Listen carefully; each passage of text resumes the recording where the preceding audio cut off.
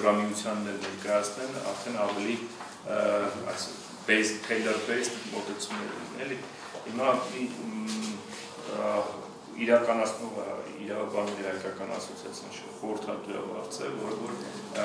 այս ֆոկուս խմբի հարցաշարը իրականացնում է, հիմա մենք մեր կտորի մեջ, որ որ բիզնեսն է եւ գյուղատնտեսությունն է, փորձում ենք նաեւ նրանց այս ֆոկուս խմբում ներկայացնենք հարցաթերթիկը եւ ստանանք նրանց կարիքները, հա, այս հարցերի համախումբը դրա համար է։ Կապ կա, ուրեմն հողային մակարդակից միջև ազգային մակարդակ, ճիշտ է։ То есть այն քաղաքականությունները, որոնք մշակվում են ազգային մակարդակում,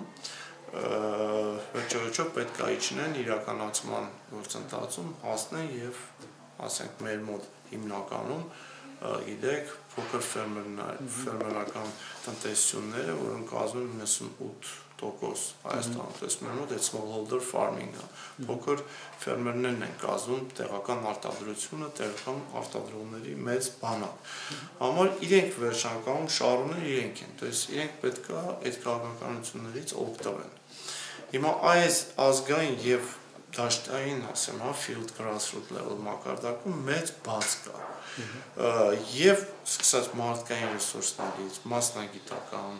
էքսպերտների, ինչպես նաեւ հենց այդ մեխանիզմներից, որոնք պետք է իրականացնեն։ Դա շատ անգամ քաղաքականությունները թղթերի վրա շատ լավ սիրունգրված են, միջազգային միջազգային փորձը դնելով, էքսպերտների կարողությունները օգտագործելով, բայց այդ իրականացման մեխանիզմը մինչև վերջի շարում միշտ կաղում է։ Դա իսկ առաջինը ճիշտ քաղաքականության մշակման գործընթաց պետք է լինի եւ ես ձեզ ասեմ որ դաշինքի լավագույն օրինակներից մեկն է որ Oxfam-ը իր ծրագրերի շրջանակներում ուրեմն փորձել է հնարավորություն այդ ֆասիլիտացիայի դեպքում դաշինքի մասնագիտական կարողությունները էքսպերտային օգտագործելով իրենց ներգրավել այդ նոր նախագծի մշակման մեջ։ То есть շատ համահունչ բան ստեղծվեց գյուղատնտեսության նախարարություն, որոնք գիտակցելով հասկացան, որ պետքա հին ռազմավարությունը փոխվի, ավելի բարելավի եւ ստեղ ծրագրի ռեսուրս ունենալով մենք առաջարկեցինք համագործակցություն։ Եվ դաշինքը 4-5 լավագույն իրենց փորձառությամբ մասնագիտության մասնագետների խմբով ընդգրկվեցին այդ մշակության ընթացքում 13-14 թվականին ծրագրի շրջանակներում այդ գործընթացը մասնակի մասնակցային բանը մասնակցային ուրեմն մշակությունը իրականացվել է եւ գենդերային ուղղորդումով առաջի անգամ մենք ունեցել ենք նախագիծ, որը պատրաստ է եղել եւ 14 թվականի աշնանը ներկայացվել է կառավարության։ Ցավոք սրտի մինչ այսօր դեռս այդ ռազմավարությունը չի ընդունվել կառավարության կողմից անդանձգվում այս վերջի կառավարության փոփոխություն պատճառով հետաձգվեց ամենադեպս ինչ նախնդիրը այո մենք կարող ունենանք լավագույն բարելաված ռազմավարություն նույնիսկ կենտրոնային ուղղությունով որտեղ կանանց դերակատարությունը շատ հստակ երևում է, որտեղ դուք գիտեք, այսօր շատ մեծ արտագաղթ ունենք համայնքներից եւ շատ անգամ այդ փոքր տնտեսությունները մնում է կանանց ուսերի եւ կանայք միակ տեղական արտադրողներն են դառնում եւ բազմաթիվ խնդիրների հետ են առնչում եւ վարկային մատչելի վարկային ռեսուրսներ եւ ցանկացած ծառայությունների վրա կանայք միշտ հետևներում են եւ չեն երևում, բայց իրականում դա կատարում է 70-80% գյուղատնտեսական աշխատանքներ։ Դες իրենց դերակատարությունը պետք է կարևորվի մեծարվի։ Ուսման ունի այդ որպես դաշինքի անդամ sense եւ դաշինքի շրջանակներում այդ գենդերային ուղղորդումը շատ մեծ բան է ստացել եւ դուք լսեցիք որ նույնիսկ Տավուշի մարզի փորձի վրա տնտեսական սոցիալական երակ 4 տարեկան ծրագրերի sense մոնիտորինգի research-ի արդյունքում բազմաթիվ խնդիրները վերլուծելով հասկացանք, որ իրենք գենդերային կույր են, ընդհանրապես, то есть gender blind են։ Իսկ բացարձակ ոչ մի գենդերային ուղղորդում եւ խնդիրներին արձագանք չկա եւ վերցնելով փորձը դաշինքի շրջանակներում 12 թվականին առաջ անգամ արվեց այդ վերլուծությունը, ռեսերչը եւ հասկացանք, որ պետքա ինքը ուժեղացվի, գեներային խնդիրները ուժեղացվեն եւ հիմնելով ունենալով այդ փորձը հետագա 13-14 թվականին արդեն դաշինքի մասնագետները ընդգրկվեցին այդ սոցիալ-տնտեսական 4 16-19 թվականին մշակության մեջ դա 15 թվականին տեղ ունեցավ եւ առաջի անգամ սոց սոցիալ-նախարարության կողմից ուրեմն դաշինքի կողմից մասնագետների կողմից մշակված գենդերային ուղղորդումով գայդը, հա, այդ ուղեցույցը ընդունեց որպես պարտադիր եւ դա տավուշի փորձի վրա նույնիսկ այդ մուլտիպլիկացիոն էֆեկտը գնաց, որ մնացած մարզերում նմանատիպ փորձը ընդունվեց եւ բանը սոցիալ-տնտեսական ծրագրերը գրելուց պետք է այս ուղղորդումով գնա, դες դա դարավ պետական պարտադիր դոկումենտ, սա լավագույն փորձերից եմ ասում։ Հիմա խնդիրների վրա է։ Նորից ունենք ռազմավարություն նույնիսկ նախագծի դեպքում, բայց մենք հասկանում ենք, որ նույնիսկ եթե ունենանք եւ այդ մեխանիզմները թերի են շատ, մենք տեսնում ենք այդ ամբողջ շղթան, որոնք պետքա ճիշտ մոնիտորինգի ենթարկվի այդ իրականացումը։ Եվ մենք ակնկալում ենք, որ մյուս շատ լուրջ գործառույթը պետքա դառնա մասնակցային մոնիտորինգը։ Իսկ այն բոլոր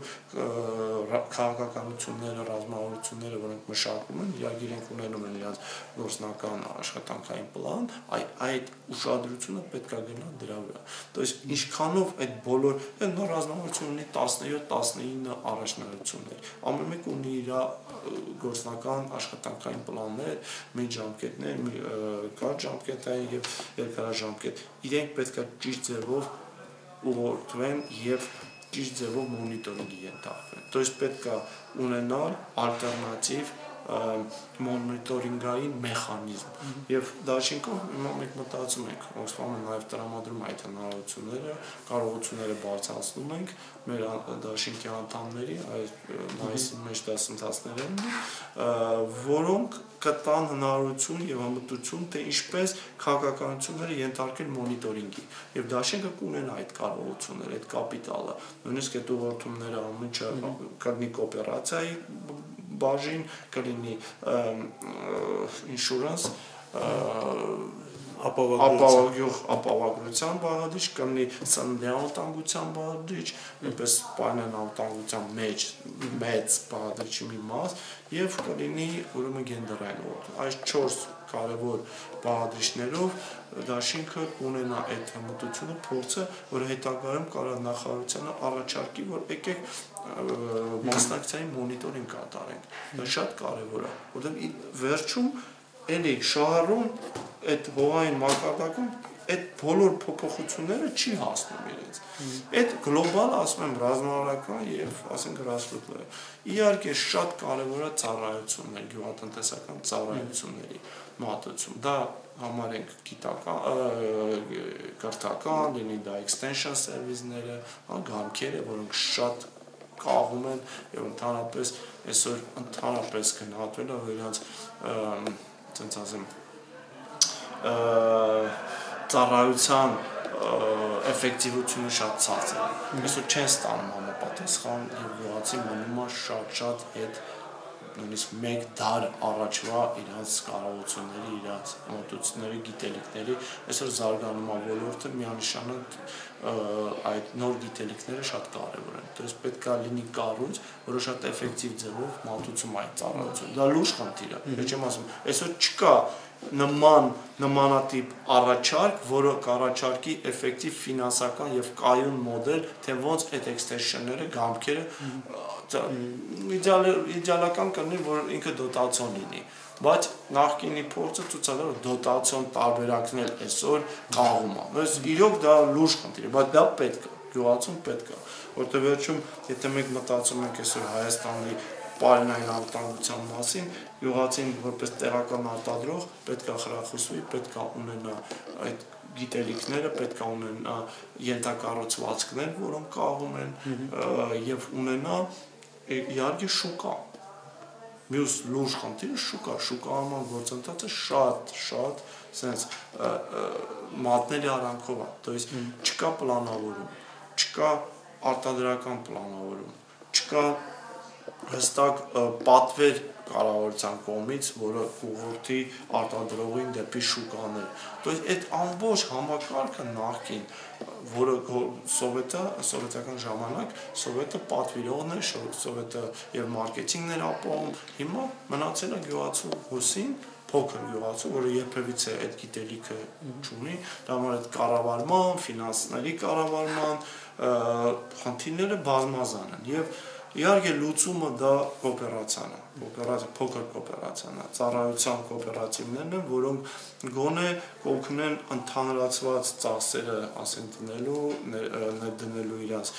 գոնե աշխատանքը իջացնել արտադրանքի մի միավորի գինը։ Դա իսկ ծառայությունների ընդհանուր հա, հա, համախառը ծախսերը իջացնել։ Դա համար մենք միշտ հրախոսում ենք եւ դաշինքով եւ մենք ունենք կառույցներ, անդամներ, որոնք անմիջապես ծրագ ծրագրային ծրագրի շրջանակներում ուրեմն հրախոսում են եւ աջակցում են կոոպերացիայի զարգացմանը։